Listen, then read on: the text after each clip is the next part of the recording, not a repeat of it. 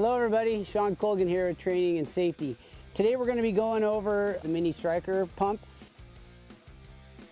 A couple things we want to make sure that we look over before we even put this into service is uh, make sure number one that we have oil and we have the proper level of oil in this machine because if you don't this machine will actually stall out. It will not run. It's a safety feature um, put into this uh, unit and it'll just completely shut off. So check your oils, okay? Also, this is a four stroke um, little engine. So that means that we do not use mixed fuel in it. We do not use mixed fuel. This is just regular straight fuel. So pretty basic, everybody. Like I said, this is a review. Uh, we have on and off. Right here, we have the throttle. Over here, we have the fuel on and off. This is in the on mode. You can see the arrow right over here. This is your choke. This is gonna be choke on, this is gonna be choke off, okay? Also, this is the pump portion of it. There is things we wanna make sure we look at, very important things to make sure this works properly. Um, on the uh, uh, adapters for the pump, on your intake and on your discharge side, these do have gaskets inside here, in between the coupling and the actual volute of the pump itself. So you wanna make sure you look inside here and make sure that they're not poking through and make sure that it's seated properly. Because as we all know, air is not our friend coming into this pump. You will not be able to get the, um, the performance you want out of this uh, unit. So definitely make sure you check it, make sure your caps are on when it's stored, uh, make sure the threads all look good. In your bag of goodies, you're gonna have the actual uh, priming pump that comes with it. Make sure that this doesn't just get thrown in the compartment um, or else this could be a real bummer for all of us that are out there uh, trying to get this unit to perform. So make sure that the gasket itself is in here. Make sure that it is tightened down, the actual primer, and uh, make sure it's stored in a proper uh, position. And yes, this is something that we should be exercising to make sure it works before we're out on a 20 day assignment. Also, with the foot valve itself, we want to make sure that you do exercise it every once in a while because the, um, the actual valve itself can stick itself down to the uh, housing which will not allow the Venturi effect to work for you, will not allow it to prime, will not allow it to work properly. So yes, we wanna make sure we look at the screen, make sure there's no damage, make sure there's no bigger holes that could come into the pump itself and damage it. We ask these things to do a lot and they do sit out there full throttle at times and scream and work for hours, okay? And they will do it if you properly take care of it. Make sure you have the gasket inside uh, the intake, the foot valve itself. We, we also use a Y um, and we'll get into that in a little bit. Make sure that the Y properly works, all your valves, make sure it doesn't leak. You don't want to have a leaky mess next to you when you're operating uh, the unit. Also, we have the hard suction, which is obviously what's gonna go from our water source into the unit itself.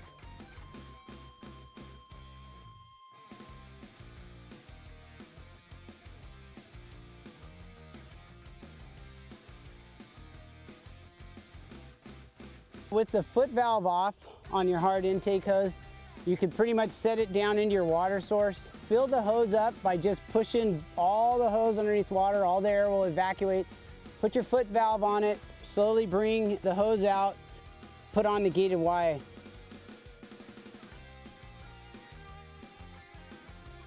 You're gonna hook the plunger for the primer.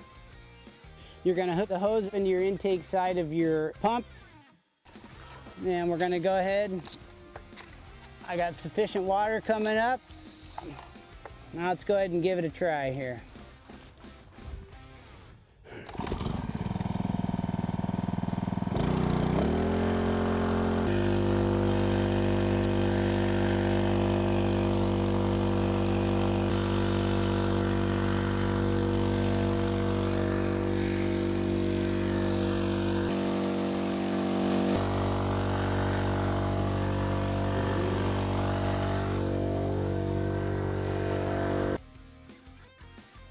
So with the Y itself, there's a reason, obviously, why we have this on here. It's uh, number one, so that when we're opening and closing valves, we can actually do that and have a little more control other than just having an open discharge, just like we would be if we were drafting. Everything is opening and closing slowly so we don't lose that prime. So that's why we put the Y. The other reason is is when we are supplying rigs and um, we're just waiting and we don't want to lose a prime, we and we don't want to be deadheading the pump, so we don't want to be heating that up. We have the recirculating line like you would on a normal drafting operation itself. So those are the couple things to keep in mind and how you're setting it up, which way the hose is going so that it doesn't make a muddy mess for you, okay? That's why we have the inch and a half going back into our water source and that's why we have this inch and a half supplying the rig. Before we uh, disassemble the unit, we wanna make sure we run the fuel out of it. So we're gonna go ahead and shut the fuel. And the reason why we don't wanna disconnect it is because we don't want this thing running for that long a period of time with no water going into this pump. It'll heat up really quick and then we're gonna wear out the actual impeller and some of the other unit itself, or some other components of the unit itself. So fuel is off, we're on.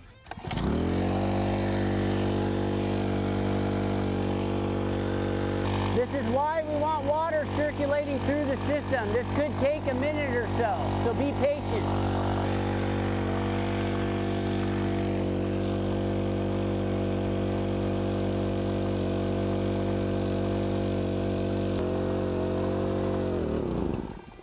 Okay, obviously we don't want to store it back in the unit with it hot, so give it a little bit of time to cool itself off.